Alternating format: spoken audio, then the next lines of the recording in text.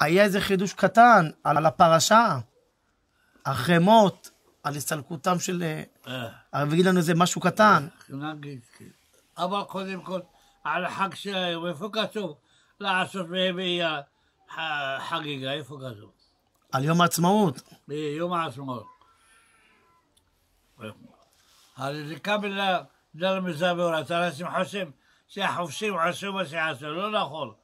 זה רמוז בתורה, איפה כתוב? איפה? אז אולי מלאך כן, תראה לארץ, ועם שם אתה קורא את הפסוקים. כן. ישמחו, עם רבים.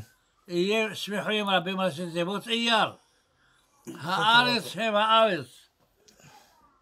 והם באייר תהיה גאולת הארץ. פשוט דוד המלך אומר. וואי, וואי, באמת.